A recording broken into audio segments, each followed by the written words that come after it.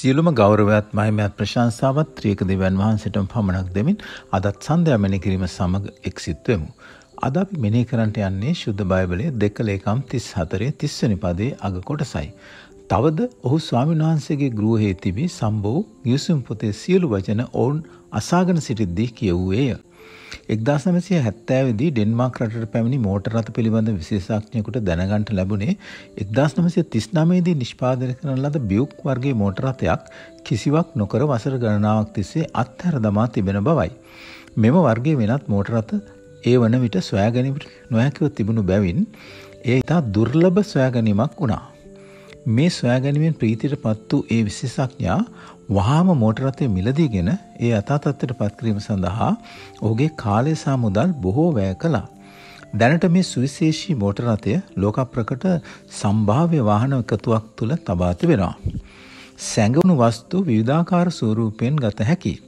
දෙක ලේකම් පොතේ නිදානයක් සොයා ගැනීමක් පිළිබඳව අපිට කියවන්ට ලැබෙනවා. යුදාහි රජ වූ යොෂියා ඔහුගේ රජකම් කිරීමේ දහඅටවෙනි අවුරුද්දේදී යෙරුසලමේ ස්වාමීන් වහන්සේගේ ගෘහය අලුත්විඩයා කරන්නට පටන් ගත්තා. මේ කටයුත්ත අතරතුර පැරණි ගිවිසුමේ මුල් පොත් පාවන මෝසෙස් අතින් දෙන ලද ස්වාමීන් වහන්සේගේ ව්‍යවස්ථා පොත 34 15 වන පදයට අනුව හිල්කියා පූජකවරයාට සම්බ වුණා. සමහර විට විදේශ ආක්‍රමණයකින් ආරක්ෂා කර ගැනීම සඳහා දශක කිහිපයකට පෙර එය සංගවා තවන්ට ඇති බවත් කාලය ගත වීමත් සමග එය අමතක වී යන්නට ඇති බව යම් ශුද්ධ බයිබල් විශාරදයන්ගේ අදහස වී තිබෙනවා. මෙම සොයා ගැනීම ගැන යෝෂයා රජට පැවසූ විට එය ඉතාම ඕනෑකමින් ඔහු බාරගත්තා. තිය තිස්සක පදලට අනුව යොෂයා සියලු සෙනග එක්රැස් කර මුළු ව්‍යවස්ථාපොතම කියවූයේ එහි ලියා ඇති සියල්ල සිහියේ තබා ගැනීමට ඔවුන්ට කැපවිය හැකි වීම පිණිසයි. අදටත් අපගේ ජීවිතයට වැදගත් වටිනා අනන්ත අපරිමාණ නිධානයක් වන ශුද්ධ බයිබලයේ පොත් හැටහයටම ප්‍රවේශවීමේ විශ්මිත ආශිර්වාදය අපට ලැබී තිබෙනවා. අපි මෙනෙහි කරමු.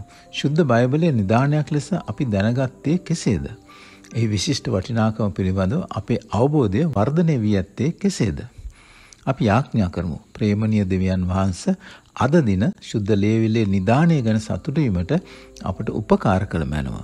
ආමෙන්.